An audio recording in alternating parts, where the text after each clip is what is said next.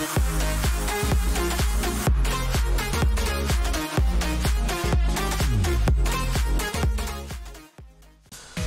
teman-teman, balik lagi channel gua Extreme Tech. Kita lanjut lagi Kapten Subasa Dream Team. Hari ini ada update debut transfer baru.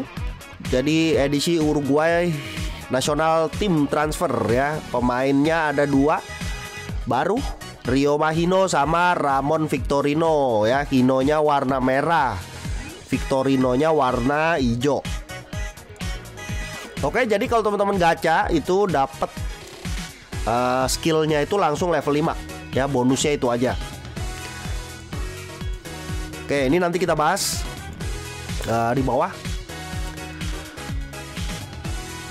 Oke kita mulai dari Hino. Hino warna merah ya tim skill yang lagi ngetren sekarang ya teman-teman super solidarity tapi kali ini uh, toughness type South American player ya minimal 8 atau lebih.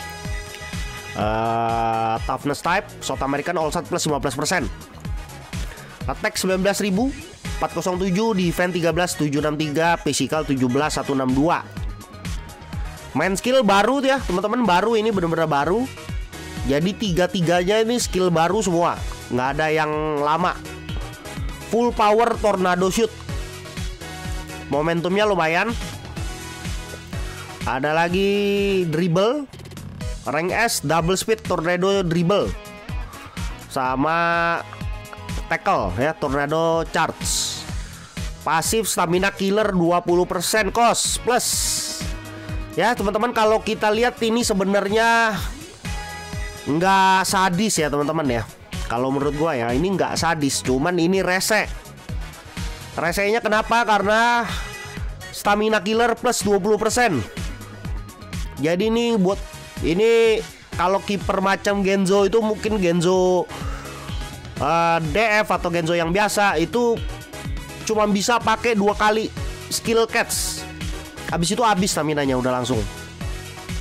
Ya, nanti kita lihat status actualnya teman-teman. Ini Victorino. Jadi yang tadi merah sekarang itu hijau. Hijau South America 8 atau lebih. All set plus 15% skillnya juga baru skill utama Panther Tornado ya shoot ground ini shoot normal jadi Victorino sekarang udah ada dua shoot ground ya shoot normal. Yang saat dulu tuh apa ya namanya gue lupa. Ini juga baru nih momentumnya lumayan. Uh, ini attack 20.000 defense hampir 12.000 physical 18.000 Panther Tornado Uruguay Golden Duo sama Panther Dribble Nah ini pasifnya combination Hino ya. Jadi kalau ada Hino statusnya plus 20% Nah ini nih teman-teman. Jadi ada tiga bagian ya. Kalau mau gacha Ada tiga bagian. Nih gua kasih lihat.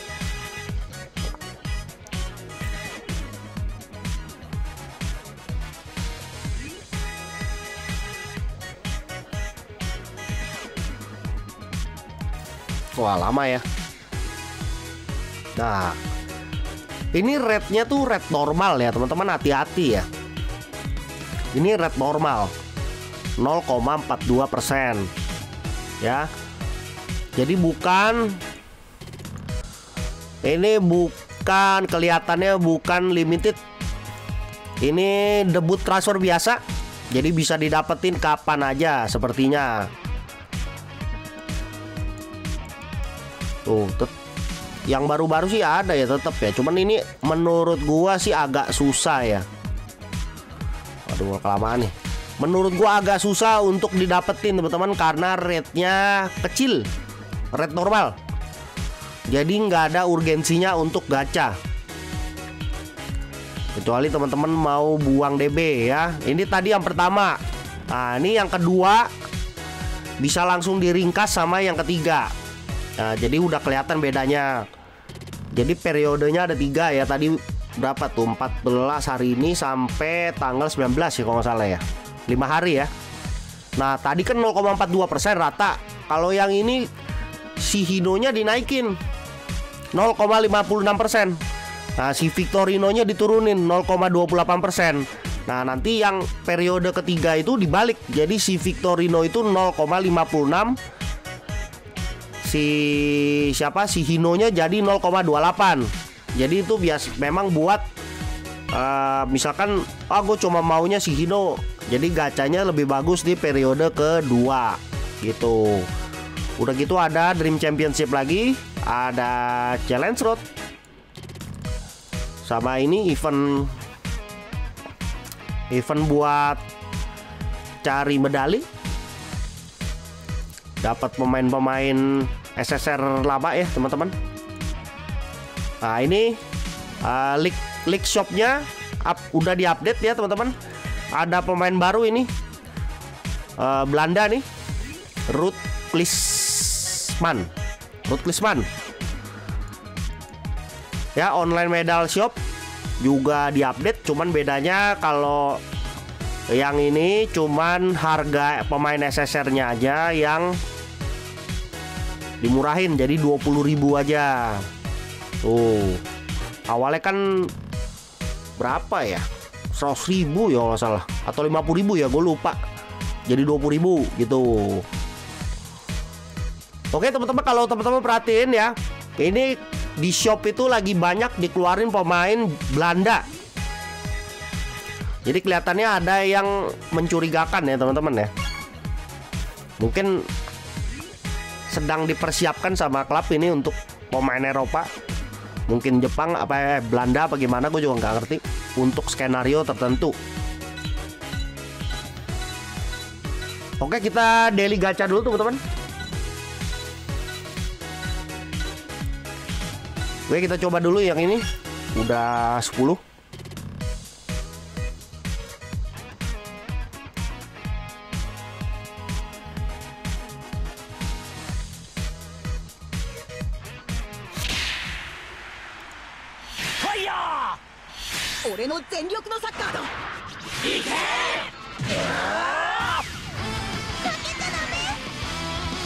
Wah, ram.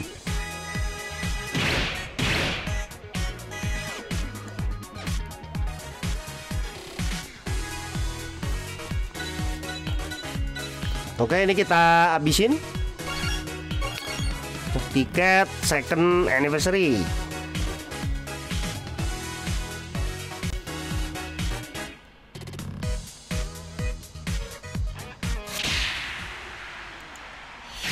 Wah, flare-flare PHP ini sepertinya nih. Wih, SSR. SSR. Pas. Wah, gila. Harusnya SSR tuh. Mana nih? Pecah dong. Pas. Wah, sep. Lumayan ya. Lumayan, lumayan. Belum punya. Oke, kita apa nih? Air Plus ya, Air Plus. Air Plus, please, samurai.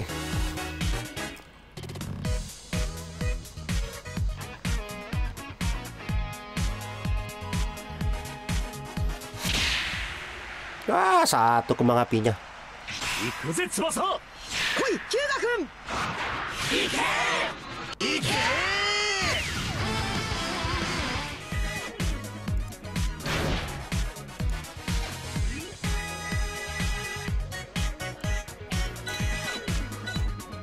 Oke kita keteng coba yang part 1 dulu. Oke teman-teman jangan lupa hari Senin itu ada part 3 Samurai 1997 part 3 Ya jadi jangan lupa ada Misugi. 4 Ah ada Misugi. Eh Misugi kan lupa gua. Misaki. Oh SSR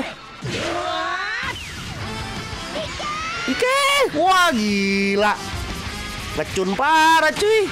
Please samurai. Ah. Papa dah. Nggak apa-apa dah. Lumayan.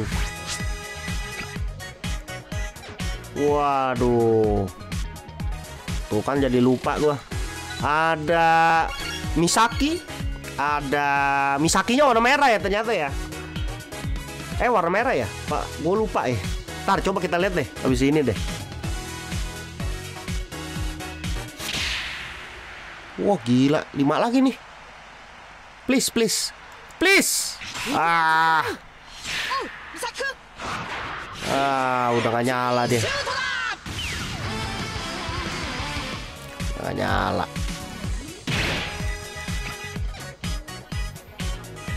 Jadi kita kelarin dulu ya. Oke ini gue lupa bikin video teman-teman. Ini gue dapet Levin. Levin HA Warna hijau.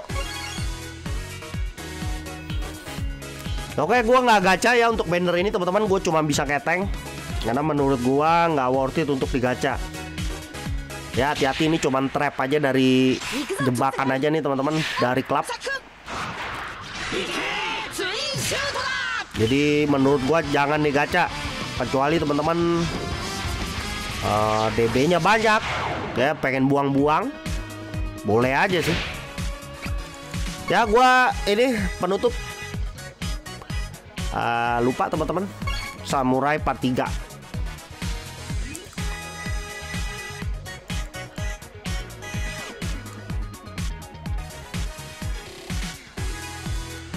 Nah, Tuh. Misaki merah kan? Ken mah udah pasti merah ya. Itu kan Genzo biru. Morisaki hijau. Ya, Ken warna merah lah. Ya, tulisannya Burning to Style. Ini kelihatannya pukul lagi, teman-teman. Ini kelihatannya pukul lagi. Atau enggak bisa tangkap tapi modelnya pukulan deh, ya enggak? Tulisannya Burning to Style. Berhubungan dengan tonjokan-tonjokan nih kayaknya nih. Nah, udah gitu awinya warna hijau. Burning Heart Dinamo. Sama ada lagi Matsuyama biru. Zelus Eagle. Nah, bisa hidden evo nih sama Takeshi Sawada warna hijau. Nah, Sawada nih udah ada dua ya berarti yang bisa hidden evo. Yang satu yang DC, ini jangan-jangan ngebuff Yuga lagi, gua nggak tahu ya. Kalau ini ngebuff Yuga juga, gua udah gak ngerti ini yang Hyuga apa tuh, Hyuga ombak itu nggak ngerti loh gimana itu. Gila ini warna hijau soalnya nih, ini berbahaya nih teman-teman. Matsuyama juga udah ada dua, udah ada tiga malah Matsuyama. Ini biru kedua ya, ini biru kedua yang bisa hidden evo. Yang pertama yang junior youth yang jadul ya paling itu aja teman-teman nanti kita uh, lihat ininya actualnya. Oh ya gue lupa bentar nih teman-teman. Gue mau lihat statusnya si Hino sama si Victorino. Gue lupa. Gue penasaran gue juga belum lihat sih. Ya kita lihat Victorino aja secara cepet ya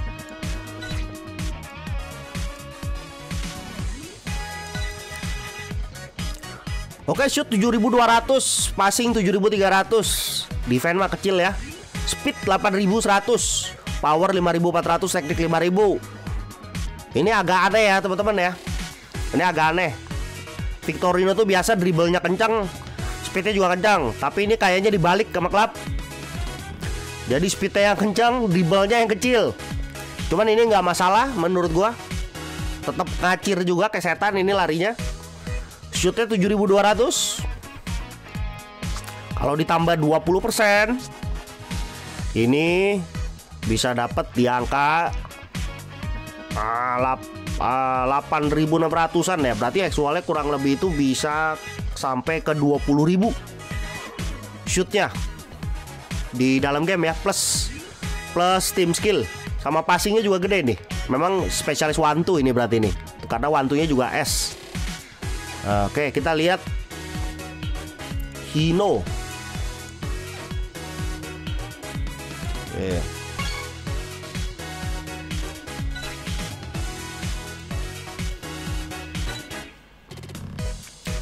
Oke, dribble 5500, shoot 8500, passing 5200, defense kecil. Physical speed 4900, power 6800. Teknik 5300. Oke, kalau kita lihat biasanya pemain yang stamina killer itu itu shootnya mungkin kecil ya teman-teman. Kali ini shootnya gede.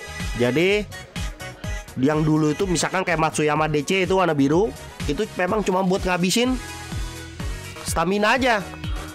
Shootnya kecil gitu. Kali ini nggak sembarangan ya teman-teman ya. Ini bisa nyetak. Ini kemungkinan besar bisa nyetak. Karena shootnya gede nih. Ini bisa bisa ke 20 ribu juga nih plus team skill. Actualnya ya.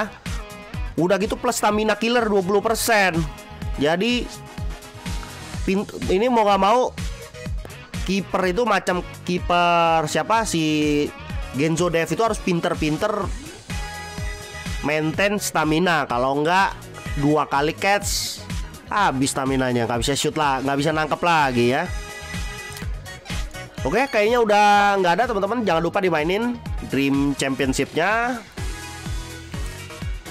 Uh, part 3 hari Senin. Kalau teman-teman saran gua itu ditunggu aja di part 3 jangan digaca yang ini karena yang ini nanti bisa dapat seperti biasa ya. Dapat dari tiket tiket SSR dari gacha biasa. Mungkin kalau teman-teman punya DBP bisa ngeteng juga nggak masalah ya oke segitu aja video teman-teman. Kali ini jangan lupa subscribe. Kalau teman-teman punya masukan teman-teman boleh tulis di kolom komentar. Sampai ketemu di next video